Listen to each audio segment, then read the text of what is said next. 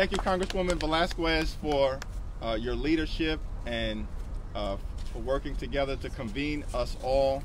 Uh, the New York congressional delegation has worked incredibly hard uh, to deliver for the people. President Biden promised that under his leadership, America will build back better.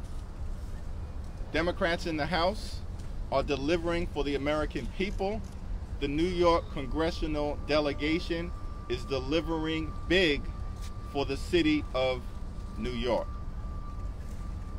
The Build Back Better Act is going to cut taxes for working families and middle class families here in New York City.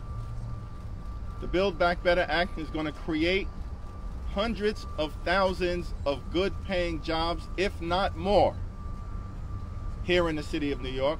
The Build Back Better Act is going to lower health care costs, lower child care costs, lower housing costs, lower education costs, and lower the high price of life-saving prescription drugs.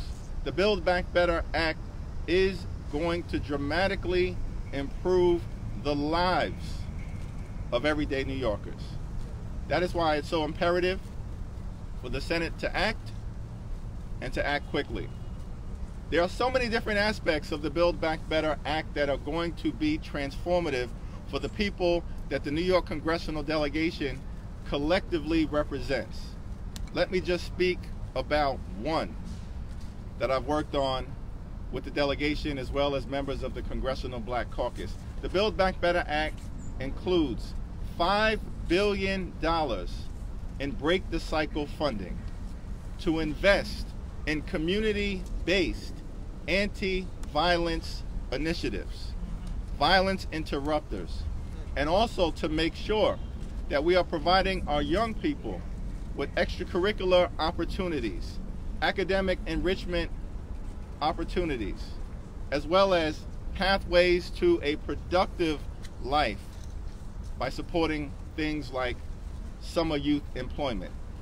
The Build Back Better Act and its $5 billion in Break the Cycle funding will be the most money ever invested in community-based anti-violence initiatives in America's history.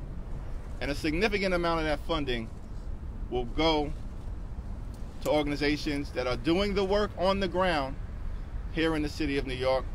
Thanks to the New York Congressional Delegation, as well as the Congressional Black Caucus and Congressional Hispanic Caucus and the Asian and Pacific Islander Caucus, we've worked collectively to deliver meaningfully for the people.